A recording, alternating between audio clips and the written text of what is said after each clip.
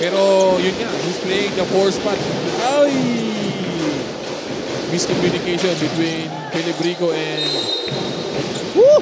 Are. That's gonna. Hindi naman tala ni Hubilia yung atake na yun. Sorry pa sa cameraman natin dahil nabangga niya. Number 12, Mix Pascual, his second.